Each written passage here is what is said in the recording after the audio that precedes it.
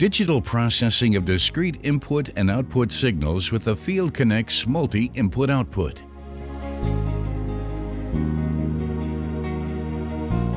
Automating a process plant requires many discrete signals to be processed.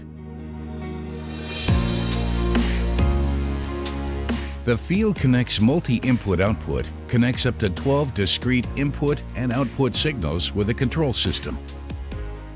A frequency and counter input monitors rotating machines, such as motors for pumps or fans. And the multi-input output can monitor up to four valves at the same time. Here, it is measuring the breakaway and transit time of a valve.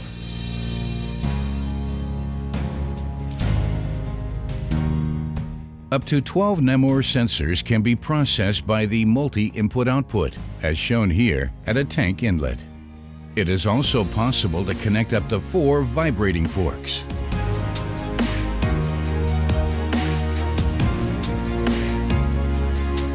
A robust housing design allows the multi-input output to be installed in hazardous areas. This simplifies wiring A variety of diagnostic functions provide additional information about the status of the plant.